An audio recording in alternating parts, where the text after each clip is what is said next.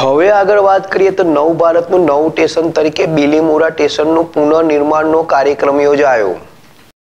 બિલીમોરા આજરોજ સવારે દસ ત્રીસ કલાકે આશરે પંચોતેર કરોડના ખર્ચે બિલીમોરા રેલવે નવા ભારતનું નવું સ્ટેશન અંતર્ગત આધુનિક રેલવે સ્ટેશન બનવા જઈ રહ્યું છે. વડાપ્રધાન નરેન્દ્ર મોદી દ્વારા આજરોજ ગુજરાત રાજ્યમાં નેવ્યાસી રેલવે સ્ટેશનનો પુનઃ વિકાસ થવા જઈ રહ્યો છે. જે અંતર્ગત બિલીમોરા રેલવે સ્ટેશન ખાતે આ કાર્યક્રમમાં વિદ્યાર્થીઓ મોટી સંખ્યામાં નાની મોટી વયના વ્યક્તિઓ તથા રેલવે સ્ટેશનના તમામ કર્મચારીઓ ઉપસ્થિત રહ્યા હતા.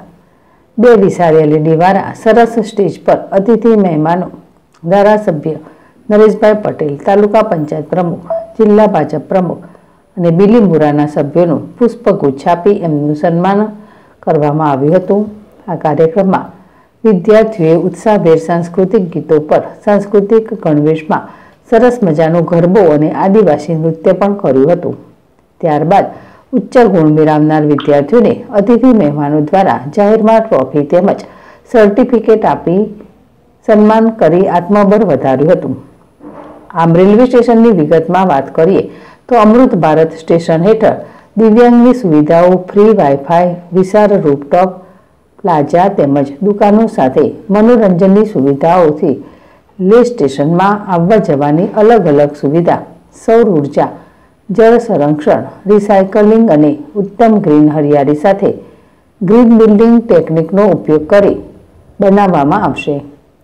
આમ પૂર્વ રેલવે સ્ટેશનમાં પાર્કિંગ વેઇટિંગ રૂમ પ્લેટફોર્મની ઊંચાઈ અને ફૂલ શેડવાળું પ્લેટફોર્મ બનાવવામાં આવશે.